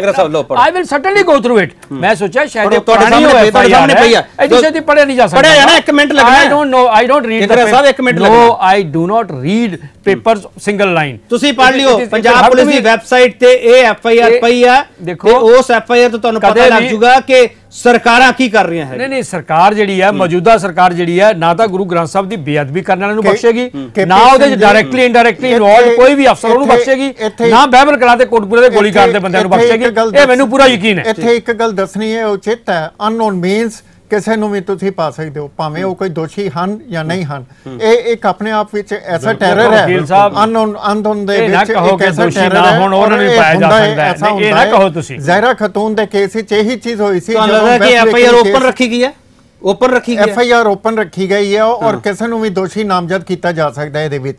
ਜਿਹੜਾ ਭਾਈ, ਉਹਨਾਂ ਇਹ ਨੂੰ ਕਿਸੇ ਕੀਤਾ ਜਾਏਗਾ ਜਿਹੜੇ ਬਾਅਦ- ਸਾਬਤ ਹੋਣਗੇ। ਇਹ ਤੋਂ ਥੋੜ੍ਹੀ ਕਿ ਕਿਸੇ ਨੂੰ ਵੀ ਕੀਤਾ ਜਾ ਸਕਦਾ। ਫਿਰ ਇੱਕ ਐਸਆਈਟੀ ਬਣ ਜਾਏਗੀ ਵੀ ਇਹ ਜਿਹੜੇ ਦੋਸ਼ੀ ਸਹੀ ਪਾਏ ਗਏ ਸੀ ਇਹ ਸਹੀ ਰੱਖੇ ਗਏ ਨੇ ਜਾਂ ਗਲਤ ਰੱਖੇ ਗਏ ਨੇ ਫਿਰ ਇੱਕ ਆ ਜਾਏਗੀ ਜਦ ਤੱਕ ਸਰਕਾਰ ਦੀ ਟਰਮ ਜਿਹੜੀ ਹੈ ਖਤਮ ਹੋ ਜਾਏਗੀ। ਵਕੀਲ ਸਾਹਿਬ ਤੁਸੀਂ ਜੋਤਿਸ਼ ਕਿਉਂ ਲਾਈ ਜਾਂਦੇ ਹੋ? ਜੋ ਸਰਕਾਰ ਨੇ ਕੀਤਾ ਇਹ ਉਹਦੇ ਤੇ ਕਮੈਂਟ। ਕਰੋ। ਨਹੀਂ ਰਿਐਲਿਟੀ ਹੈ ਇਹ। ਤੁਸੀਂ। ਜੋਤਿਸ਼ ਲਾ ਰਹੇ ਹੋ ਨਰਦੇ। ਸਿੰਘ ਆਕੜੀ। ਅੱਧੀਆਂ ਤੁਸੀਂ- ਖਬਰਾਂ ਜੋਤਿਸ਼ ਲਾ ਰਹੇ ਹੋ ਨਰਦੇ ਸਿੰਘ ਆਕੜੀ ਤੁਸੀਂ ਬਹੁਤ ਰੈਲੀਆਂ ਕਰਦੇ ਪਏ ਹੋ। ਸਰਕਾਰ ਤੇ ਬਹੁਤ ਸਵਾਲ ਚੁੱਕਦੇ ਹੋ ਤੁਸੀਂ। ਆਪਣੀ ਰੈਲੀ ਦੇ ਵਿੱਚ ਇਹ ਸਵਾਲ ਵੀ ਪੁੱਛੋ ਕਿ ਪੁਲਿਸ ਅਜੇ ਤੱਕ ਅਣਪਛਾਤੀ ਕਿਉਂ ਹੈ ਇਹਨਾਂ ਵੇਲੇ ਤਾਂ ਅਣਪਛਾਤੀ ਹੈ। ਦੇਖੋ ਗੱਲ ਇਹ ਕਿ ਹੈ ਪੁੱਛ ਨਹੀਂ ਸਕਦੇ? ਨਹੀਂ ਨਹੀਂ ਪੁੱਛ- ਕਿਉਂ ਨਹੀਂ ਪੁੱਛ ਸਕਦੇ? ਅਸੀਂ ਤਾਂ ਤੁਹਾਡੇ ਮੰਚ ਤੋਂ ਵੀ ਕਹਿ ਰਹੇ ਹਾਂ। ਨਹੀਂ ਸਾਡੇ ਮੰਚ ਤੋਂ ਤੁਸੀਂ ਕਹੀ ਚਲੋ। ਉਹ ਤਾਂ ਰੈਲੀਆਂ 'ਚ ਤੁਸੀਂ ਲੋਕਾਂ ਸਾਹਮਣੇ ਕਹੋ ਜਾ ਕੇ। ਆ ਬਿਲਕੁਲ ਸਟੇਜਾਂ ਦਾ ਕਿ ਪੁਲਿਸ। ਅਣਪਛਾਤੀ ਕਿਉਂ ਅੱਜ ਤੱਕ? ਫਿਰ ਕਹਿ ਰਹੇ ਹਾਂ 130 ਕਿ ਨੰਬਰ ਫੇਰ ਸੀ ਦਾ। ਹੋਣੀ ਚਾਹੀਦੀ ਹੈ। ਸੁਪਰੀਮ ਕੋਰਟ ਦੇ ਮੌਜੂਦਾ ਜੱਜ ਜਿਵੇਂ ਸਾਹਿਬ ਜਗਮੋਹਨ ਸਿੰਘ ਭੱਟੀ ਨੇ ਕਿਹਾ ਹੈ ਕਿ ਰਿਟਾਇਰਡ ਜਸਟਿਸ ਜਿਹੜੇ ਹੁੰਦੇ ਆ, ਉਹਨਾਂ ਦੇ ਪੋਲੀਟੀਕਲ ਪ੍ਰੈਸ਼ਰ ਬਣ ਜਾਂਦੇ ਆ ਜਾਂ ਉਹਨਾਂ ਦੇ ਕੋਈ ਲਾਲਚ ਖੜੇ ਹੋ ਜਾਂਦੇ ਆ। ਮੈਂ ਇਹ ਗੱਲ ਨਹੀਂ ਤੁਸੀਂ ਵੀ ਗਲਤੀ। ਕੀਤੀ ਜਸਟਿਸ ਜੋਰਾ ਸਿੰਘ ਕਮਿਸ਼ਨ ਬਣਾ ਕੇ। ਤੁਸੀਂ ਵੀ ਗਲਤੀ ਕੀਤੀ ਜਸਟਿਸ ਜੋਰਾ ਸਿੰਘ ਕਮਿਸ਼ਨ ਬਣਾ ਕੇ। ਆਕੜੀ ਅਕਾਲੀ ਨਹੀਂ ਜਵਾਬ ਦਿਓ। ਜੇ ਤੁਸੀਂ ਭੱਟੀ ਸਾਹਿਬ ਦੀ ਗੱਲ ਨੂੰ ਕੋਟ ਕਰਦੇ ਪਏ ਹੋ ਇਸ ਗੱਲ ਦਾ ਜਵਾਬ ਤੁਸੀਂ ਵੀ ਗਲਤੀ ਕੀਤੀ ਜਸਟਿਸ ਜੋਰਾ ਸਿੰਘ ਕਮਿਸ਼ਨ ਦੀ ਉਹਨਾਂ ਨੇ। ਸਾਹ ਜੋਰਾ ਸਿੰਘ ਨੇ ਆਪਣੀ ਰਿਪੋਰਟ ਸਬਮਿਟ ਕੀਤੀ ਕਿਵੇਂ ਲਈ ਗਈ ਕਿਵੇਂ ਦੇਈ ਗਈ। ਮੈਂ ਉਥੇ ਮੈਨੂੰ ਇਹਦੇ ਬਾਰੇ ਇਲਮ ਨਹੀਂਗਾ ਦੂਜੀ ਗੱਲ ਤੁਸੀਂ ਪਾਰਟੀ ਦੇ ਨੁਮਾਇੰਦੇ ਹੋ ਨਹੀਂ, ਦੂਜੋ- ਕੋਈ ਜ਼ਿੰਮੇਵਾਰੀ ਤੋਂ ਨਹੀਂ ਪਾ ਸਕਦੇ ਮੈਂ ਉੱਥੇ ਨਹੀਂ ਹੈਗਾ ਸੀਗਾ। ਭੱਟੀ ਸਾਹਿਬ ਜੋ ਕਹਿ ਰਹੇ ਹੈ ਹਾਂ। ਜਿਹੜੀ ਓਪਨ ਜਿਹੜੀ ਰੱਖੀ ਗਈ ਹੈ ਇਨਵੈਸਟੀਗੇਸ਼ਨ ਕੇਸ ਦੇ ਵਿੱਚ ਅਣਪਛਾਤਿਆਂ ਦੀ ਬਿਲਕੁਲ ਠੀਕ ਹੈ ਇਹਦੇ ਚ ਪੋਲੀਟੀਕਲ ਮਾਈਲੇਜ ਵੀ ਲਈ ਜਾ ਸਕਦੀ ਹੈ ਪਰ ਮੈਂ ਇੱਕ ਗੱਲ ਕਹਿਣੀ ਚਾਹੁੰਦਾ ਜੋ ਸਰਦਾਰ ਐਚ ਐਸ ਫੁਲਕਾ ਜੀ ਬਾਰ-ਬਾਰ ਕਹਿ ਰਹੇ ਹੈ ਤੁਸੀਂ ਇਨਸਾਨ ਨਵਜੋਤ ਸਿੰਘ ਸਿੱਧੂ ਦੀ ਗੱਲ ਕਰਦੇ ਹੋ ਮੈਂ ਕਹਿੰਦਾ ਐਜ ਏ ਸਿੱਖ ਹਰ ਬੰਦੇ ਦੀ ਇਹ ਡਿਊਟੀ ਬਣਦੀ ਹੈ ਕਿ ਉਹ ਮੰਗ ਕਰੇ ਵੀ ਸ੍ਰੀ ਗੁਰੂ ਗ੍ਰੰਥ ਸਾਹਿਬ ਦੀ ਬੇਅਦਬੀ ਤੇ ਉਹ ਜੋ ਦੋ ਮੁੰਡੇ ਸ਼ਹੀਦ ਹੋਏ ਆ ਉਹਨਾਂ ਦੇ ਗੋਲੀਆਂ ਚਲਾਉਣ ਵਾਲਿਆਂ ਨੂੰ ਬਿਲਕੁਲ ਤੁਸੀਂ ਮੰਗ ਕਰੋ ਫਿਰ ਐਜ਼। ਸਿੱਖ ਤੁਸੀਂ ਮੰਗ ਕਰੋ ਕਿ ਪੁਲਿਸ ਅਨੁਪਛਾਤੀ ਕਿਉਂ ਹੈ ਕੀ ਹੈ? ਇਹਨਾਂ ਦਾ ਨਾਮ ਸ਼ਾਮਲ ਕੀਤਾ ਦੇਖੋ ਜਾਵੇ ਦੇਖੋ ਜਿਸ ਸੱਜਣ ਤੁਹਾਡੀ ਪ੍ਰੈਸ ਰਿਲੀਜ਼ ਆ ਜੂਗੀ। ਇਹਨਾਂ ਨੂੰ ਤਾਂ ਸਾਰਾ ਪਤਾ ਹੈ। ਇਹਨਾਂ ਤਾਂ ਹੁਕਮ ਦਿੱਤਾ ਉਹਦਾ ਗੋਲੀ ਚਲਾਉਣ ਦਾ। ਸ਼ਾਹਜੀਤ ਸਿੰਘ ਦੇ ਗੋਲੀ ਵੱਜੀ। ਮੈਂ ਉਹਦੀ ਵੀਡੀਓ ਸੁਣ ਕੇ ਆਉਂਦਾ ਵਾ ਰਸਤੇ 'ਚ। ਉਹਦੇ ਦੋਏ ਪੱਟਾਂ 'ਚ ਗੋਲੀ ਵੱਜੀ ਹੈ। ਤੇ ਉਹਨੂੰ ਕਿਵੇਂ ਹੋ ਸਕਦਾ ਵੀ ਉਹ ਬੰਦੇ ਨੂੰ ਪਛਾਣੇ ਨਾ ਜਿਹਨੇ ਗੋਲੀ ਮਾਰੀ ਹੈ? ਗੋਲੀ ਕੋ ਨੇੜੇ ਉਹਦੇ ਚਲੋ ਇਹਨਾਂ। ਨੂੰ ਤਾਂ ਸਾਰਾ ਪਤਾ ਇਹਨਾਂ ਨੂੰ ਤਾਂ। ਇਹਨਾਂ ਨੇ ਤਾਂ ਚਲਵਾਈਆਂ ਗੋਲੀਆਂ। ਇਹਨਾਂ ਨੂੰ ਕਿਉਂ ਨਹੀਂ ਪਤਾ ਕਿ ਗੋਲੀ ਕਿਹਨੇ ਚਲਾਈ ਇਹ ਸਵਾਲ ਪੁੱਛਣਾ ਸ਼ੁਰੂ ਕਰ ਦਿਓ ਸਰਕਾਰ ਨੂੰ। ਤੁਸੀਂ ਬੜੇ ਸਵਾਲ ਪੁੱਛਦੇ ਪਏ ਹੋ। ਇੱਕ ਸਵਾਲ ਸਾਡਾ ਵੀ ਪੁੱਛ ਲਓ ਸਰਕਾਰ ਨੂੰ। ਇਹ ਤੁਸੀਂ ਪੁੱਛੋ ਜੀ ਅਸੀਂ ਤਾਂ ਆਪਣੀ। ਪਾਰਟੀ ਪਲੇਟਫਾਰਮ ਦੀ ਗੱਲ ਕਰਾਂਗੇ। ਬਹੁਤ ਔਖਾ। ਇਹ ਤੁਹਾਡੇ ਅਧਿਕਾਰ ਦੀ ਗੱਲ ਹੈ।